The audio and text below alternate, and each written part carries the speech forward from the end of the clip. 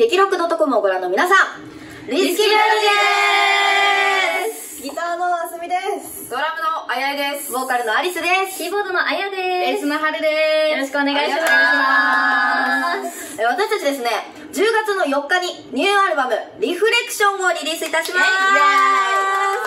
はい、これがですね、もう2年半ぶりのはいアルバムで、まあ音源自体も2年半ぶりなので、はいもう9曲、この中の9曲はですね、もうこの間にライブで皆さんとたくさん温めてきた、えー音源が入っているんですけれども、はいえ2曲は新曲となっています。はいぜひぜひ楽しみに聴いていただけたら嬉しいです。はい。そして、そのリリース当日、10月4日には、はい赤羽レイニーアルファでリリースワンマンライブを行います。ワンマンはい。そしてね、その10月4日を皮切りに、全国30カ所を回るツアーを行っていきます。はい、えー北海道から沖縄まで全国いろんな場所回りますので、えー全国ねお近くの会場遊びに来ていただけたら嬉しいです。待ってます中でね、ワンマン公演が6カ所あります。はいはい。えっ、と、ワンマンライブはですね、だいたい2時間ぐらい予定してますので、いつもよりしっかりじっくり楽しめるんじゃないかなと思います。はい。えーワンマンは東京、名古屋、大阪、仙台、札幌、そしてラストが横浜サウザンドクラブとなっておりますので、はいぜひこちら、